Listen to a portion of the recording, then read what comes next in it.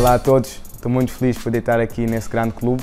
Um, estou muito ansioso a poder dar o meu coração para esse clube e a mostrar todos os jogos, todos os treinos, a energia que tenho para fazer o melhor e ajudar a equipa a ganhar jogos e ganhar títulos.